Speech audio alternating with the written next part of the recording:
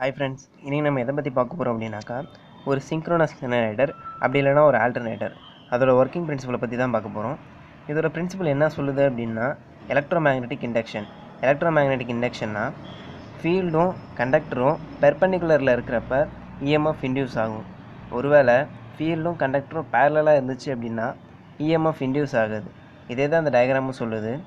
என்எஸ்ங்கிறது field இந்த one conductor வந்து first இப்போ ஒன் பொசிஷனில் இருக்கிறப்ப ஃபீல்டும் இந்த கண்டக்டரும் பேரலல் டைரக்ஷனில் இருக்குது.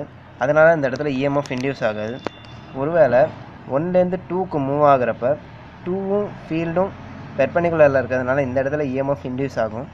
இதே டூலேருந்து த்ரீக்கு வரப்போ தேர்டு பொசிஷன் வந்து ஃபீல்டுக்கு பேரலாக இருக்குது.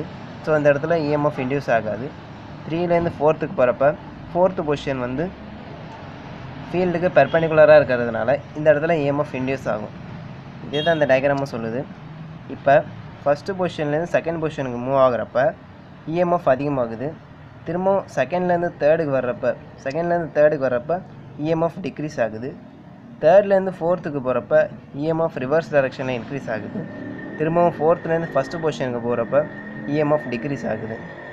அப்போ நீங்கள் கேட்கலாம் இதோட இஎம்எஃப்பை எப்படி இன்க்ரீஸ் பண்ணுறது அப்படிங்கிறது தான் சிம்பிள் ரெண்டு சைடும் போல்ஸ் இருக்கிற மாதிரி நினச்சிக்கோங்க. இப்போ ரெண்டு சைடும் போல்ஸ் இருந்துச்சு அப்படின்னாக்கா தேர்டு பொசிஷனும் ஃபஸ்ட்டு பொசிஷனும் ஃபீல்டுக்கு பெர்பெண்டிகுலராக போயிடும் அதனால் இஎம்எஃப் இன்னும் அதிகமாகும். இப்படி தான் போல்ஸை அதிகமாக்குறது மூலமாக நம்ம வந்து இஎம்எஃப்பை இன்க்ரீஸ் பண்ணலாம்.